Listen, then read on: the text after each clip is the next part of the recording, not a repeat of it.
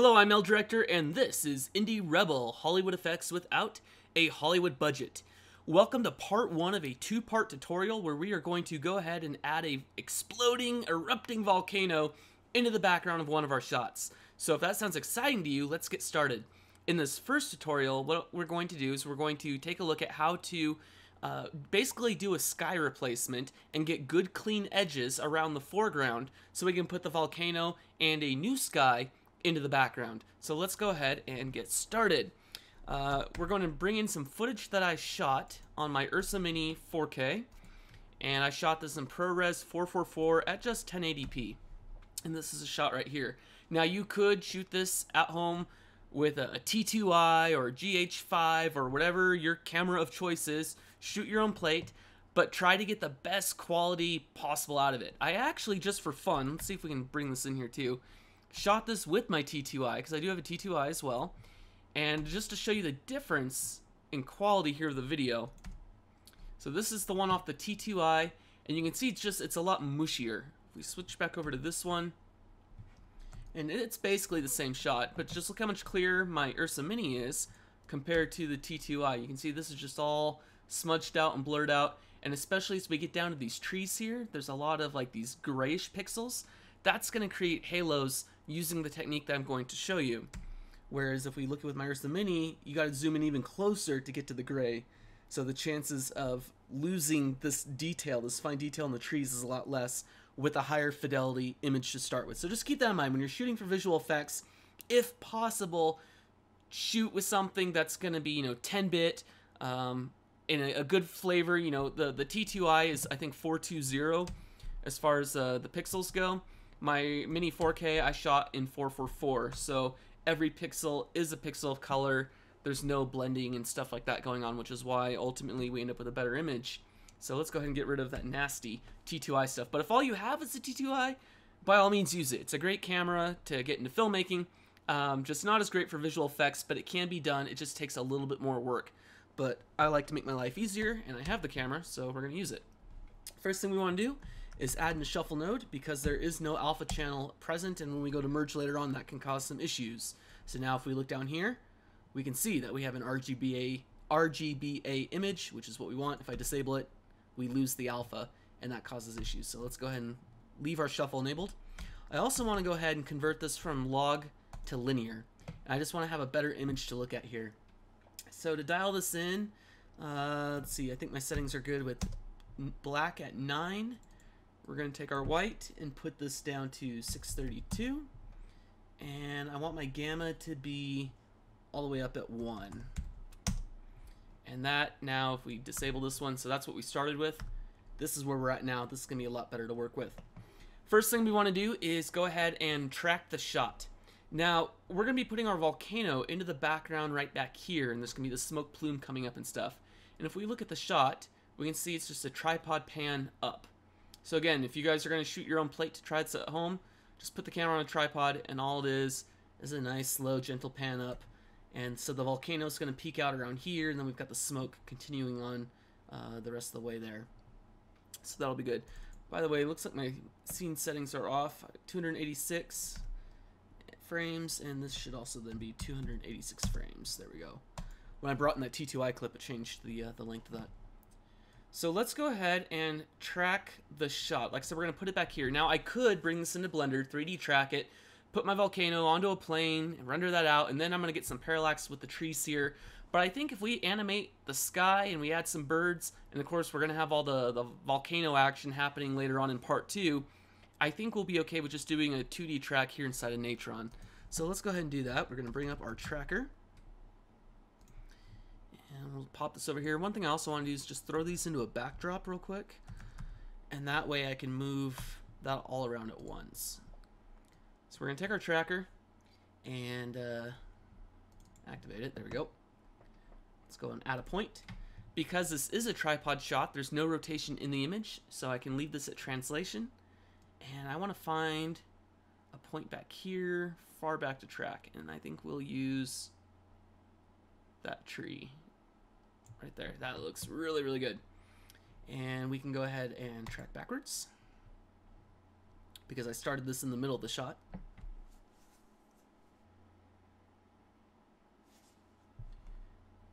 All right, back to our keyframe here. Let's see, one more forward, there it is. And let's go ahead and track it forward now.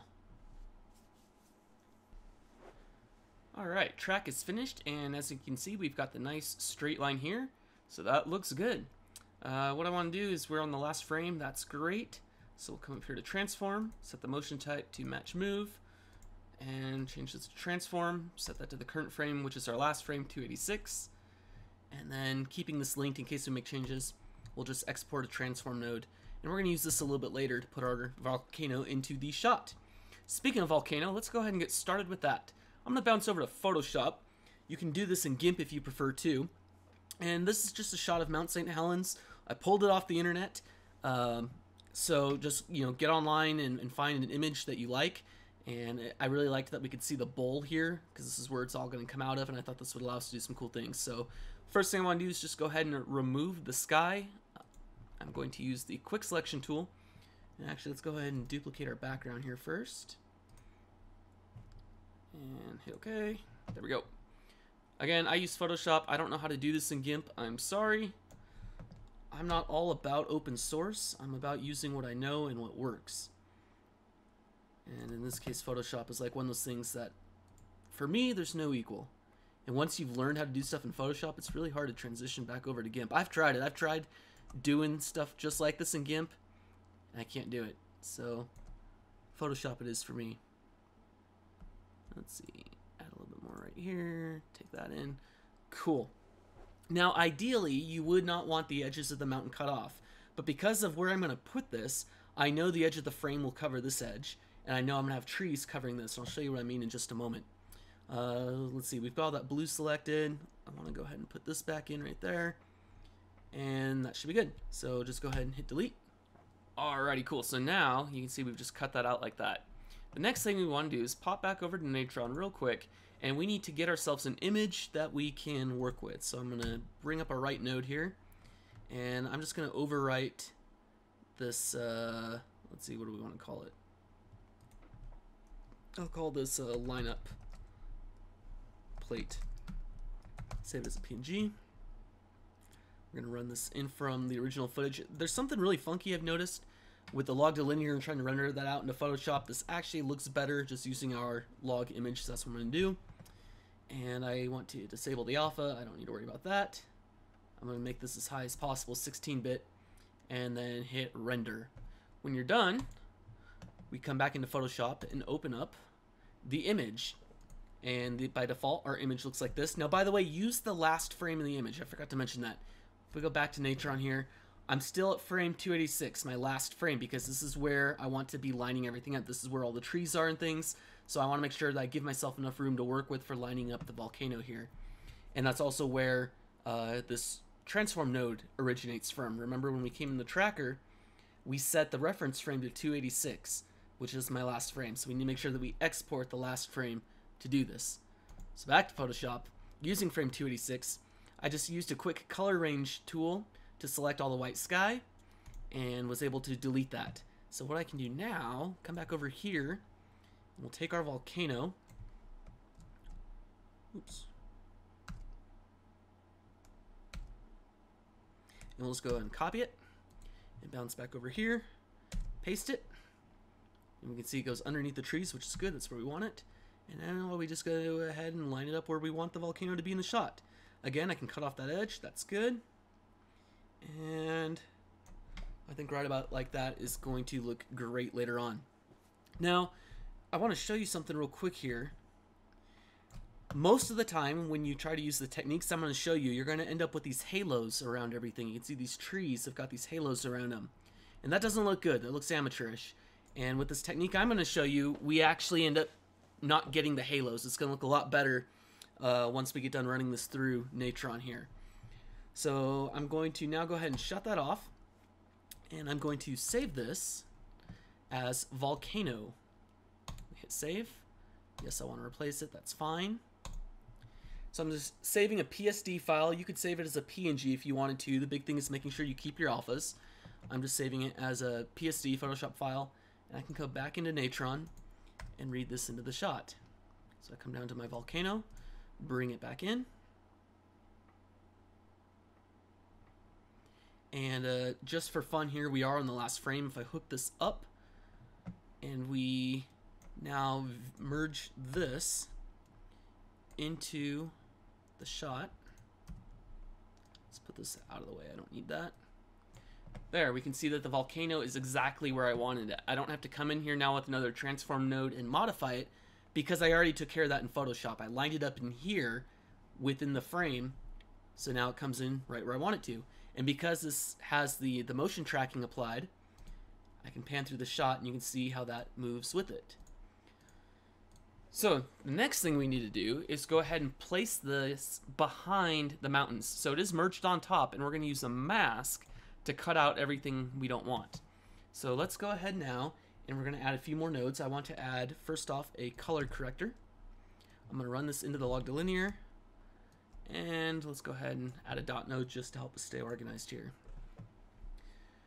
For the color correction, first thing I want to do is let's go ahead and view it and I want to pull out all the color from the image. I want to work with just a black and white image.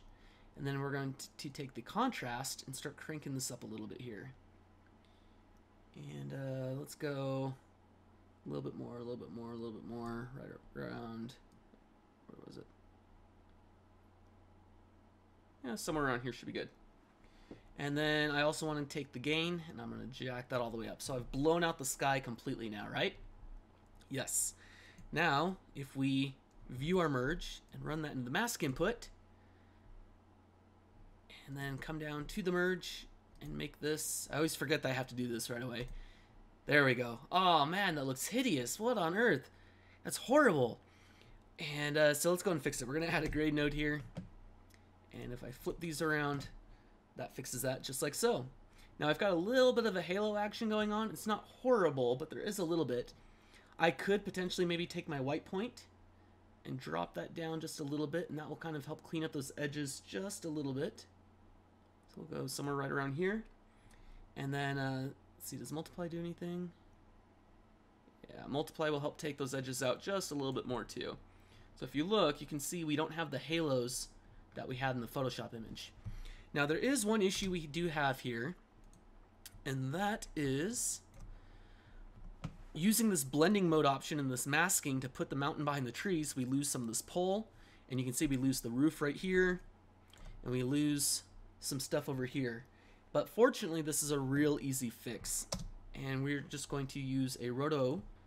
Alright, but before we do add our roto, we do want to make sure we bounce over to the last frame because that's where everything is coming from. And if we want to be able to use this transform node to track everything in, we want to make sure we do it on that right, on the correct reference frame. So I'm going to now go ahead and add a roto. And I'm just going to start up here, bring it down, keeping it above the roofs that I want to keep. Because I know that this pole got cut out, I want to keep it. Put that in. And I'm just going to spend some time really making sure that I do this well. We can get up close and personal with it. It doesn't have to be perfect, but it does have to be good.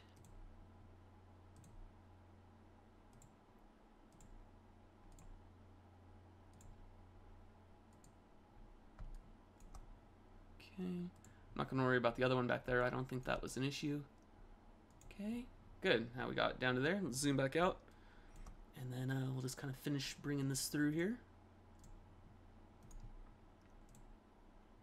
Boom. Perfect. Now, if I come down here and we add a, another merge, we throw the roto into it, and view our final shot. There's the mountain. You can see the pole is all in there now. Everything looks good. Again, if I turn this off, uh, this off, there we go. That's what we had before. So we lost all that. And uh, you can see we lost detail here in the roofs. We re-enable what we just did. We get all that detail back. We get the pole back. And because it comes before the transform, uh, we'll bring this up so you can see. As I go through, the roto is already keyframed with it. So I didn't have to do any hand animation. It just gets tracked into the shot uh, automatically, so that's pretty nifty. Let's go ahead and add in a new sky to the shot too. I think we need a, definitely some new clouds. So I'm gonna come over here, I'm going to read in some clouds. Again, I just got these off the internet. And I want to add a merge here and put the clouds as the B. So you can see them just right back there. Run the clouds through transform node. And actually we need to run them through a shuffle as well. Because otherwise we lose that B alpha. There we go. Take the transform. Let's scale these suckers up. And we'll go ahead and stick them where we want them. So let's go to the first frame of the shot because I do want to animate these. Actually, let's line it up here at the end. Find the section of clouds that we want to use. These are looking pretty good. These aren't the highest resolution clouds, but I think they'll do the trick for what we're looking for here. So at the end of the shot, I want them lined up. Yeah, probably right about there. That'll work out well. Set key. And then I'll go back one frame and move these over to there. So that set another keyframe. Now, if I go to my dope sheet, I can actually move these keyframes to where they need to be. So this needs to go to the last frame, 286. And then this one needs to go to our start frame. If we can find it. There it is. Frame zero. Now let's go frame one. We go. And then uh, just to be sure, we'll select those, right click it, interpolation, and make it linear. So we're to have a nice straight line going between those. Back to the node graph. And now the clouds should move as everything goes and everything pans up nice and neat. Cool.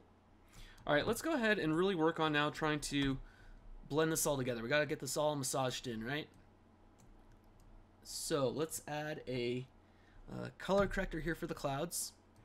And I'm going to do the same thing here for the volcano.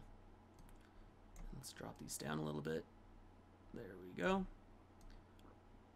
The screen line's annoying me. If you want to hide stuff like that, Shift-E hides your links. There's still a little green circle here telling you that there's a linked expression and hit Shift and then you can see what that expression is where it's being linked to. But we know that this transform came from the tracker, so I'm gonna hide the green line. So now comes the fun part. We need to massage these into the shot. So let's start with the clouds, and I don't know, try to blow them out a little bit. It's an overcast day. Everything should be washed out. It's gloomy, desaturated. So suck the color right out of it like that. That's not too bad. And then I think my shadows, now let's take the midtones. See if we can lift those a little bit. No, let's do the shadows. Lift those. There we go. That's looking a lot better there. And then uh, go back to our master and then maybe just take some of that contrast out of the image too. Gives it kind of that nice overcast look. And now we can take the mountain and uh, start playing with this. So I'm to go to my mids, and I want to cancel out some of that blue hue.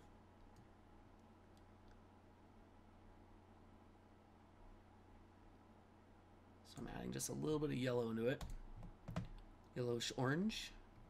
And then uh, let's pull some saturation out of the mountain, increase the contrast of it a little bit.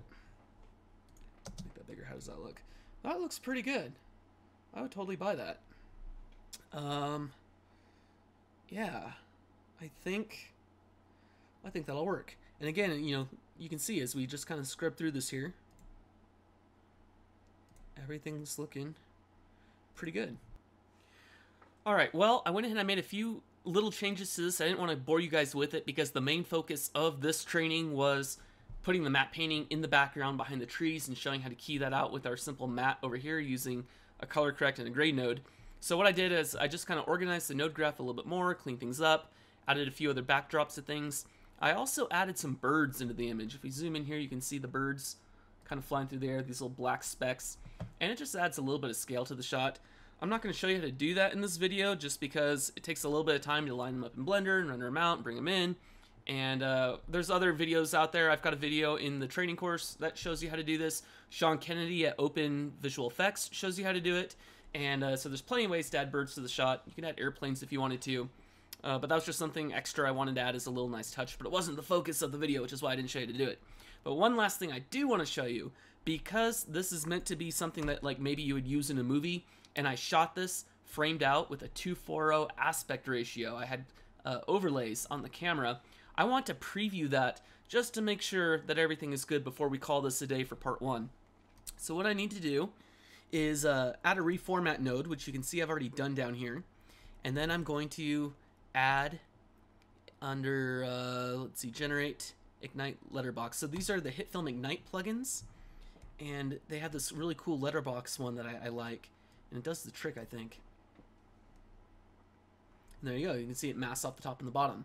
Now, the reason for the reformat node, just so you guys can see here, because we've got so many different uh, resolutions and things that we're working with, even though it's getting comped down to HD, it kind of freaks out if you go to add this anyway. So if I type in letterbox, add in the Ignite letterbox, I go to try to hook it up, it's going to freak out and throws this error message.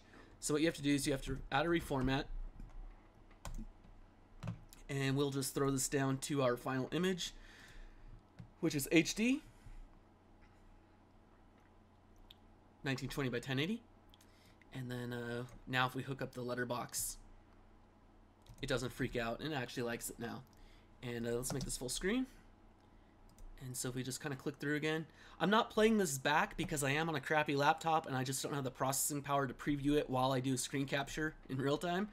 But um, you guys at home could you know do your previews. So I'm just going to click through to kind of show kind of how everything's looking. And uh, I'm liking it. I think this is good. There's my birdies. And I think that will wrap up uh, this episode here, or this, this video. So again, the focus was adding a matte painting and the sky replacement into the background of a shot. We animated the clouds from side to side. We added some birds here just for fun to give it a little extra scale. But most importantly, we got a nice, good, clean matte uh, around the trees, and you can see that looks really nice. We're not getting any funky halos or anything like that. So if you liked this video, give it a thumbs up and tune back for the next video or check back for the next video where we're going to jump into Blender and generate the volcanic explosion of death and doom. It's going to be a lot of fun. It's going to be really cool. So make sure to subscribe so you can get that video when I upload it. Thanks for watching. I'm El Director. This has been Indie Rebel, Hollywood Effects without a Hollywood budget.